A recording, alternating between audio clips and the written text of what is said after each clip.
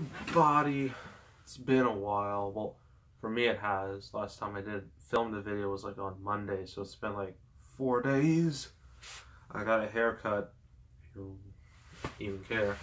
So it's been in a year, about two days, three days. It will be 2018. And 2017 has been a it's been an interesting year to say the least. I mean, Marvel dominated, the DCU imploded, uh, Disney bought Fox, uh, the whole, just the wave of like sexual harassment scandals that happened in such a short period of time. It's been, it's been a mix of ups, downs, and I don't know. So yeah, hopefully 20, 2018 is a bit better. But we're gonna do a top 10. I haven't done this before, so I might as well do it now. Top 10 best movies of 2017. I have them all written down because 2017 I actually seen a lot of good movies. These are the ones that really stuck with me after I saw them. And before I get on I have an honorable mention right out the gate. Uh, Blade Runner 2049.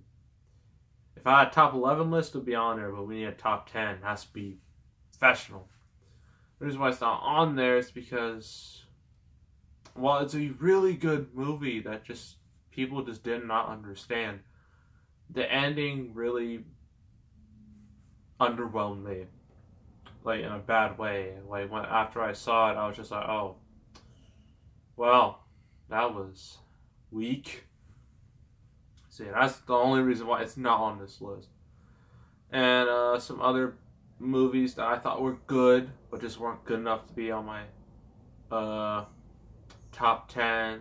Guardians of the Galaxy Volume 2 was fun, but not as fresh as the first movie. Uh, Star Wars Last Jedi. Yes, I know, the ever so controversial Last Jedi that has nearly destroyed the fan base. I like the movie, but it has some serious problems, especially with a completely pointless side plot with Rose and Finn. They could have just thrown that out the movie. They could have just cut that out, that whole part entirely. Um, I don't think I'm split. I thought was really good, but still didn't make it. Um, other ones I'm just gonna throw out there randomly.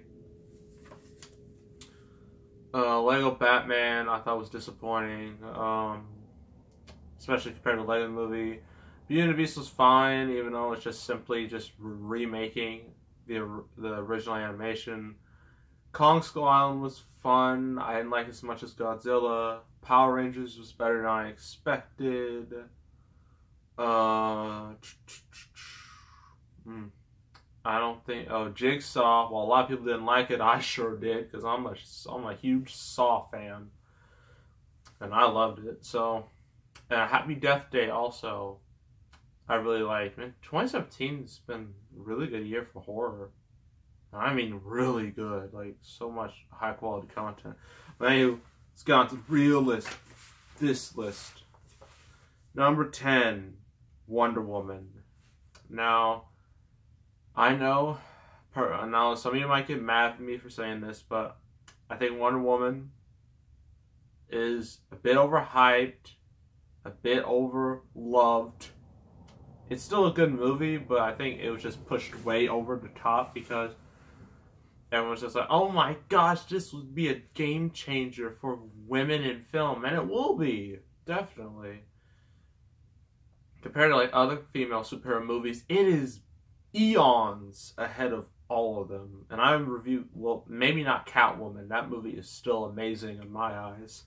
But Wonder Woman is close. I mean, Gal Gadot is one of the only good things about the DCU. She is so well cast. I like Chris Pine and Steve Trevor. The movie actually had color. It wasn't darkness and whatnot.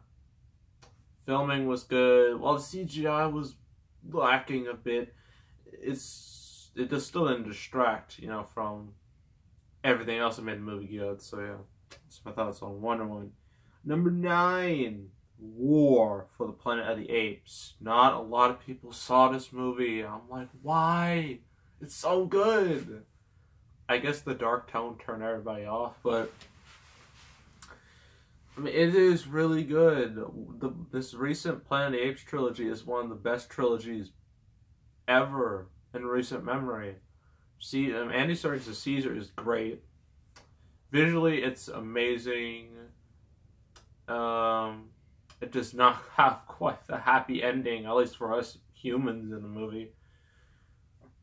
Yes, it, I mean, well, it did get pretty slow in parts. It kind of just dragged on. But since, you know, it was Caesar, I was still invested. And, uh, yeah. I wish I made more money, though. It's a shame. Number 8. John Wick. Chapter 2. I love the John Wick movies. I love the first one. I really love the second one. Because the second one, it really, like, uh, expanded the world of John Wick from the first one. The first one was about you like it hints of like the secret organization of like assassins, this world that's fully explored like in the second one. You just see all this crazy stuff. And you can literally just do a kill count of how many people John Wick just kills. It's amazing. And I'm so hyped for part three, uh, chapter three. I mean, Keanu Reeves, man's a legend. He's amazing. So can't wait for chapter three. Hope they knock it out of the park. Number seven, Dunkirk. If you've never seen my videos, you know I really, really like Christopher Nolan movies. And while I still prefer the Dark Knight trilogy as like his biggest accomplishment, Dunkirk is still really good. That's like this is actually his shortest movie ever. Most of his movies are really long. This one's really short. And some people have, this movie's got a bit of criticism because, well, like there's no characters really latch onto. And personally, it wasn't about the characters, it was about the situation, the war, you know, the battle on Dunkirk. Visually, it's amazing. Music is amazing. Score is really good. Uh, acting is really good. Yeah, no problems with Dunkirk, and hopefully Christopher Christopher Nolan's uh, next movie is great. I hope he gets at least some recognition from the Academy from Dunkirk, or at least gets a nomination, directing nomination, or something. Because if he doesn't, I'm gonna be really ticked off. So number six, Thor Ragnarok. Now the Thor movies they haven't been the most popular. So it was clear Thor needed a whole, like, I wouldn't say re- reboot, but more of like a, a soft reboot of the character. And they changed it up definitely for the better. I mean, the movie's extremely, you know, colorful. You know, it's visually impressive. Um, Thor is great as a character. They finally um, because the problem was that they tried to make him human, but here we finally get to see him for what he is. And he's great. I mean, Hulk's there too, and he's good. All the acting is really good in the movie.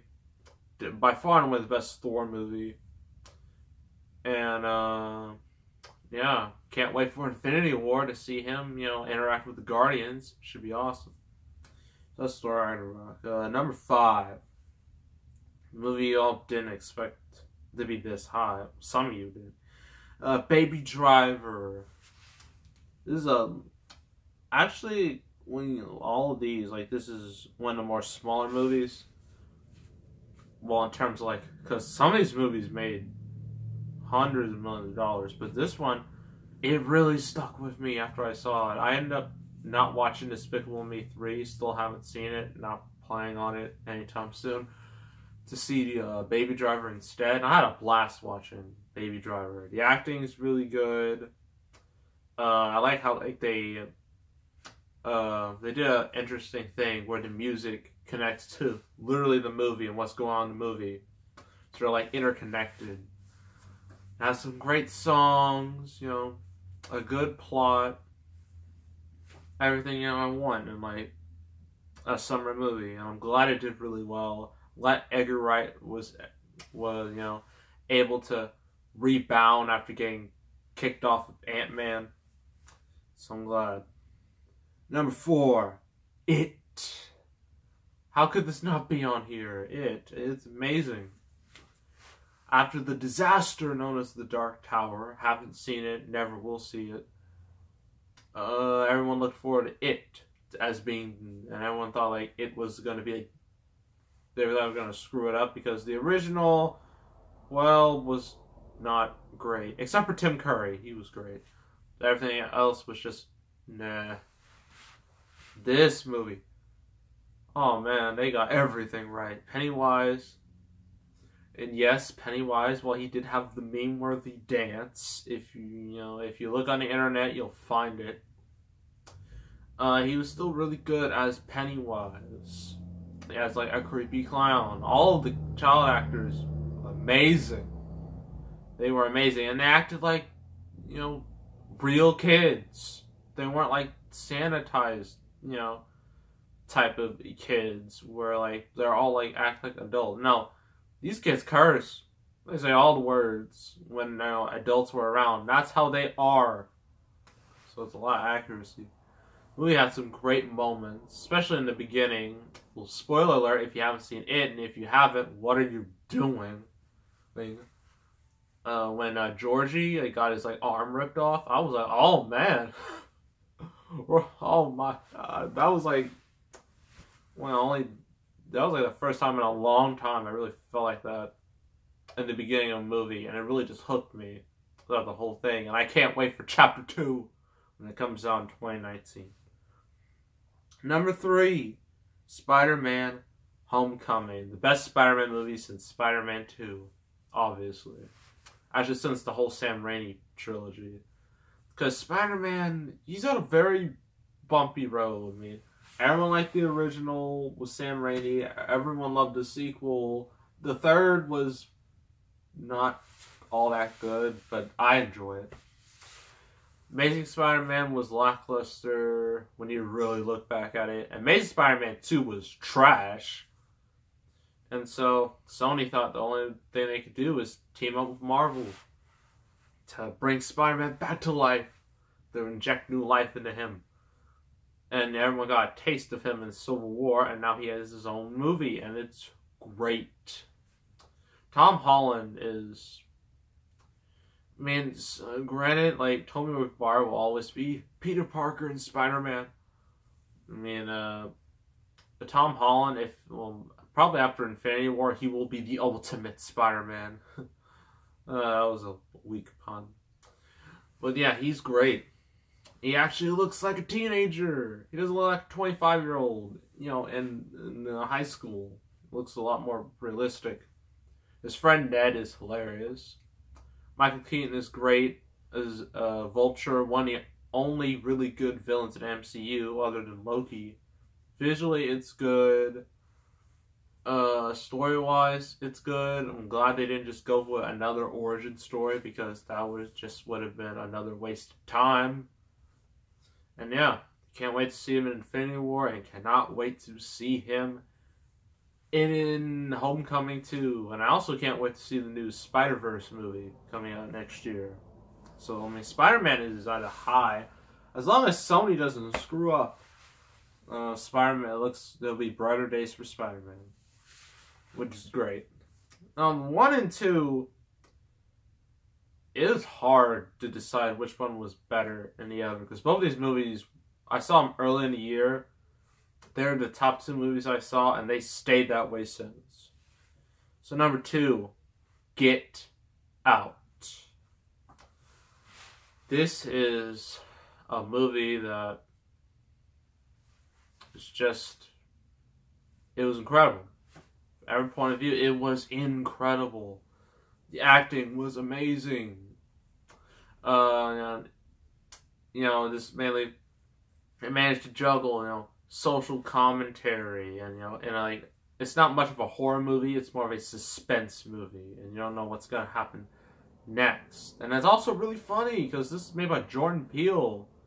The fact that he made this, you know, him coming from like Key and Peele and sketch comedy is amazing. You know, he did this movie, and it became an incredible success too.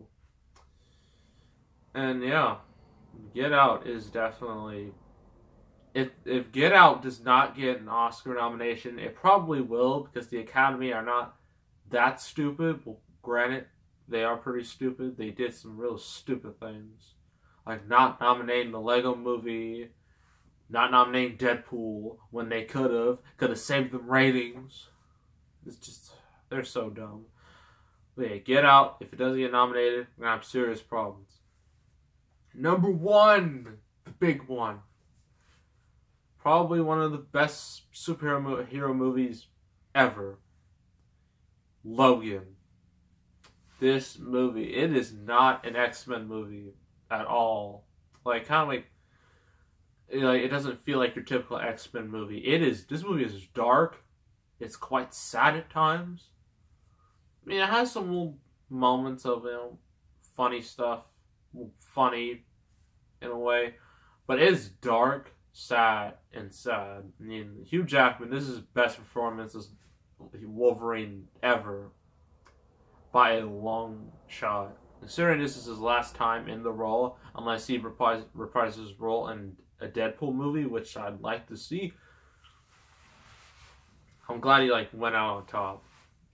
Patrick Stewart was also incredible like, as Professor X. Like and uh, Dafne Keen as X23, great. Oh, and this movie, since it's rated R, we finally get to see Wolverine in his violent glory. Just slicing through dudes. It was fantastic. And so, yeah, I'm glad Fox, like, Fox has been doing a lot of risky stuff. First, they did Deadpool, which made a whole lot of money, and then they did Logan, which made a whole lot of money. Now they're doing like New Mutants, and then Deadpool two, and then they're gonna go back to mediocrity in Dark Phoenix, and then after that, all the X Men are going to the MCU. So, yeah. It is. I mean, we don't know all the situations. We don't know if Fox will still still be able to do these movies. I mean, Disney did say they want more of an adult adult division, and they did say Deadpool is they understand like you know what makes that you know sell it, like Deadpool such like a valuable brand. Hopefully they don't mess up. So yeah, that's my top ten list of the year. I will do a top five worst movies 2017 uh, very soon actually. So you know look forward to that. So make sure to subscribe, like this video, leave a comment. I will see you all next time. I am out of here.